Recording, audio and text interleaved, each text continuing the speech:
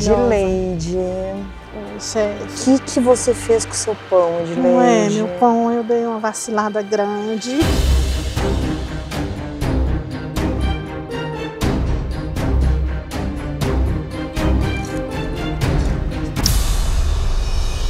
Meu pão ficou crocante por fora, mas dentro tá ridículo. Não deu certo, chefe. Sabe que a hora que eu vi teu pão, eu achei ele tão bonito. Mas é o meu tu erro destruiu foi, teu pois pão. é. Por que tu fez? Porque não tem juízo. Eu acho que eu nunca fiz aqui no Masterchef uma burrada tão grande e tão feia. Eu E o recheio, muito. tu gostou? Eu vi que tu fez uma pasta de Eu curry. fiz a pasta de curry, aí eu fiz o frango, tem manga, ele tá um adocicado com apimentado e muito tempero. Ousei muito e coloquei leite de coco reduzido no capim, limão. Eu vi, você fez, e você botou cebola, Botei folha de limão, Aham, gengibre, tudo, pimenta. Tudo, tudo. Usei tudo que era possível e impossível do mercado. Hum. E tu já fez esse prato, já tu faz curries na tua casa? Não, não, Nunca? chefe. Pra quem não tá acostumada e não faz curry, Uhum. nada mal. Obrigada, chefe. Aqui parece o cara de massa que chega.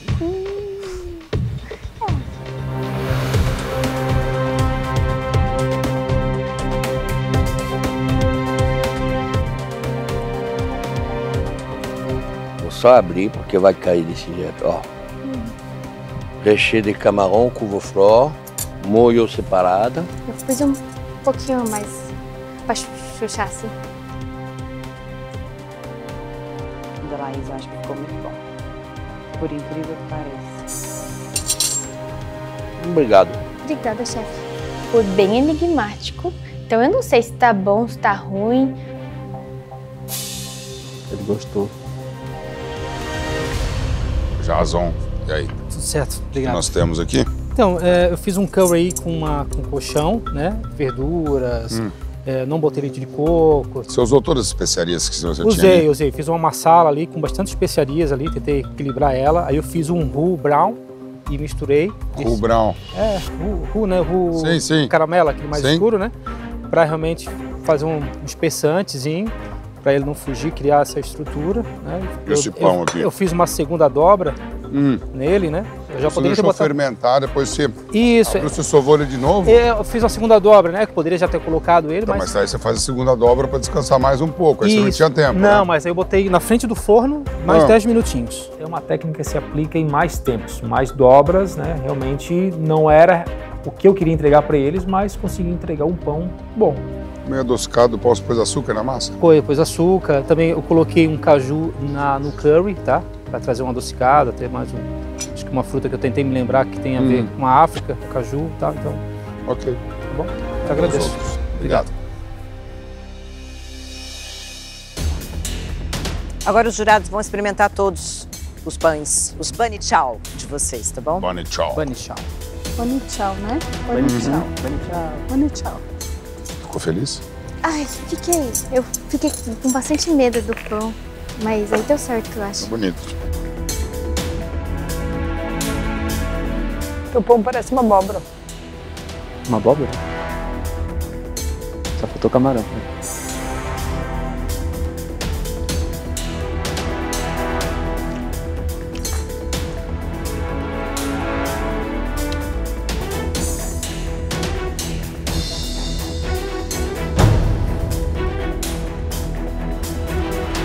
Então agora é a hora H. Boa sorte na decisão de vocês. Tá? Hora Vamos. H. Reflexão. Hora da reflexão. A ansiedade é maior do que tudo nessa vida e o coração velho aqui, ó. Faltou pra sair pela boca. Bom, Bunny chow. É. tem dois que eu gostei muito. Tem um É. que não deu certo. Tem um que tinha tudo para dar certo, eu Mas... acho, só que no meio do caminho é o que rolou a gente uma... fala, técnica, é. né? Conhecimento. É. É. Não tem jeito. É, a gente já sabe qual é o pior, né? É. Vamos lá? Vamos.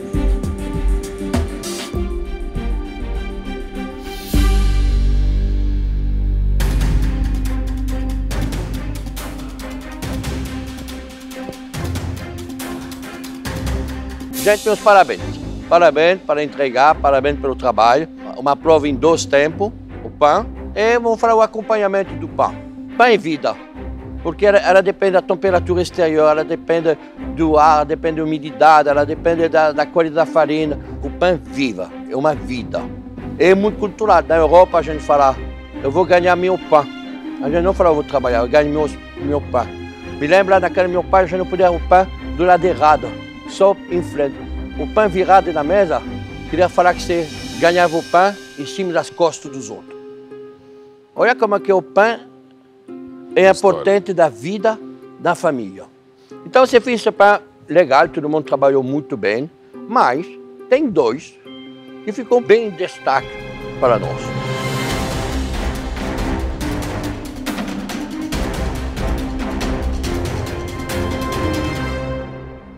Aí, vou fazer um passo para frente e Rafael. Me dá um frio na barriga, né? Porque tava com a minha expectativa lá em cima, agora baixei o nível. Realmente vocês são maravilhosos, foi muito bom, bem feito. O pão é crocante, saboroso. E o recheio de camarão é muito bom. Tem um contraste muito bom, um pouquinho doce. Eu adorei esses legumes, todo mundo adorou. O lado vegano foi muito bem feito, muito bom. Os dois foram muito bons. Mas sempre tem um vencedor. Sempre tem um que é melhor que o outro. Eu vou deixar a Helena falar. Vai, Helena, fala que é o melhor. Obrigada, Jacan. Fala que é o melhor. Ela gosta muito de falar isso. Bem, gente, para nós, ah, o melhor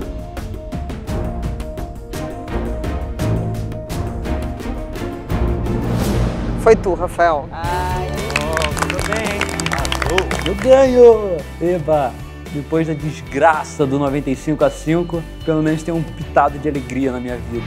Eu achei lindo porque o teu pão, ele ficou parecendo uma abóbora. Ficou assim, além de estar muito bom, tá super crocante, tá Casquinha. macio, tava com uma casquinha que difícil de conseguir com o tempo que vocês tiveram para fermentar. Ficou lindo e tava muito saboroso também. Então, parabéns. O teu também, Laís, obviamente. Gente, vocês vão juntinho para as eliminações, vocês sobem juntinhos pro mezanino, eu vou fazer um casal. Faz isso não. Meu namorado me enrola 15 anos. Ah, fala sério. Então vão, os dois lindinhos para o mezanino. Tchuc, tchuc, tchuc, tchuc, Parabéns. tchuc, tchuc. Vai lá. Parabéns, Rafa. Muito obrigado. Renascida como uma fênix. Não ganhei a prova, mas foi de destaque positivo. E o Rafa ganhou e também gostei porque ele precisava vencer mais uma prova. Eu tô ganhando muitas, deixa ele ganhar um pouquinho também. Jason Edileide. Vocês sabiam que nem todo cozinheiro sabe fazer pão, né? Difícil, é um outro universo, né? A panificação. Mas aqui no Masterchef tem que ser completo, né? Faz parte. Pão da Edileide. Primeiro você deixou a massa fermentando no forno com o forno ligado. né? Se você ligasse o forno durante 5, 10 minutinhos, des- desligasse e pusesse a massa, ficaria tranquilo. Depois você tirou e você foi sovar a massa. Ela já estava tava até um pouquinho douradinha numa parte, um pouco alta, né? Ela estava fermentada. Aí você sova ela, perde todo o trabalho que foi feito. Jason, você falou, seu amigo padeiro lá que te ensinou a fazer o, o mingau dentro da massa. Eu não vi vantagem nenhuma no seu pão. Ele tá assado ok, mas é um pão caseiro, mais do mesmo. E outra coisa, você fez um roux para ajudar a segurar o recheio dentro do pão. Já tem farinha, já tem, né, tem a massa do pão, você acrescenta mais um roux ali dentro. Tá saboroso, porém pesado. Edileide, o sabor tá gostoso. Você pôs bastante ingredientes, especiarias. O meu curry tá saborosíssimo, melhor do que o dele. Mas o pão dele tá melhor do que o meu. E aí? Nós conversamos aqui. E para nós aqui o que ficou mais longe do que a gente esperava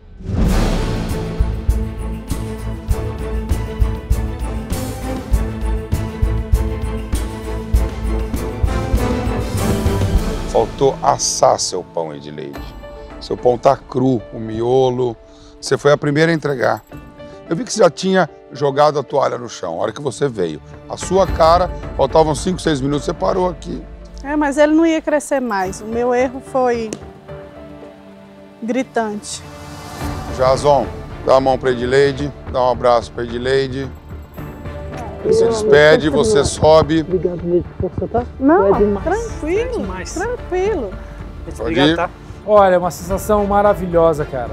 É ir do inferno ao céu ao mesmo tempo.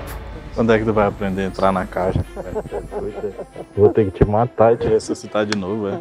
Obrigado, Porra, cara, tu fica inventando as coisas numa hora dessa. Edileide, o Masterchef acaba pra você hoje.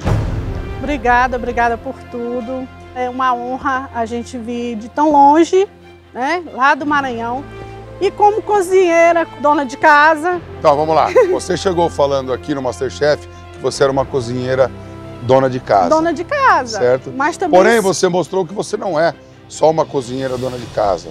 Você é uma cozinheira amadora muito boa. Obrigada, você fez muitas coisas que nos surpreenderam muito. Obrigada. Você tem a mão ótima, tem boa vontade, tem organização, Alegria. tem disciplina, alegria, dançou bastante. Então, você eu. mostrou para todo o Brasil que você pode ser uma ótima profissional. O seu Obrigada. pudim foi inesquecível. Obrigada, gente. O Masterchef para mim foi uma virada de chave na minha vida. É a certeza que eu não sou só uma dona de casa, que eu tenho potencial para ir muito além. Vem cá dar um abraço. Abraço. Com muito prazer, com muito Prazer, viu? Obrigada, Cara, parabéns, viu? Também, Uma tudo honra, de uma bom. honra, honra mesmo. Obrigada, obrigada pelas broncas. Obrigado. Obrigada por. Espera aí, vou te dar minha flor. Meu Deus do céu! Vem cá. Ela Continuar. combina bem com você, igual que ela combina comigo. Obrigada. Beijo. Maravilhosa! que honra. Obrigada. Quem vai ganhar o Masterchef? Vamos ver se acerta. Eu tenho duas, duas opções ali. Hum. Renato e Fernando. Porque eles são muito bons e muito cascudos. Muito cascudo. É, é São- importante são- ter casco. Pois é. A mãe de vocês é f... pra caramba. Sério. Obrigada. A Agnes, Ana e Heloísa, Roberto. A mamãe tá voltando pra casa. Vai lá e mostra pra esse Maranhão inteiro. Obrigada, gente. Edileide. Edileide é uma mãezona aqui, ela tem um carinho imenso por todos. É uma pecinha-chave que dói perder. Jacão, vou te levar comigo pro Maranhão, Jacão. É Edileide! É Edileide! Vou estudar 10 vezes Ah. mais você, tá? Pois é, estuda, estuda. A gente ama você. Sinto que é uma aliada a menos no jogo e talvez tenha um alvo nas minhas costas agora. Olá lá. Sobrou a gente. Já imaginou isso? Agora eliminar os meninos. Vamos eliminar os boys. Eu espero que tenham duas mulheres na final, mas que eu segure a prova. No próximo programa, uma convidada que vai elevar o nível da competição. Chefe número um do mundo. Bia Leon! Os cozinheiros terão que reproduzir um prato de extrema complexidade. Hoy día tenemos vieiras y amaranto. El amaranto es la kibucha. Gente, a chefe número um do mundo tá aqui e vai avaliar o trabalho de vocês. Só isso. Esse negócio tem que sair bom hoje. Bota. O que vocês estão vendo? Desespero. Desespero. O que, que precisa? De que eu preciso agora? Ai, meu Deus céu. Vai ser assim mesmo? E para deixar a noite ainda mais complicada, a eliminatória vem com um clássico da gastronomia francesa. Balotine. Técnicas antigas com delicadeza. Tem que ser planejado e pensado esse prato.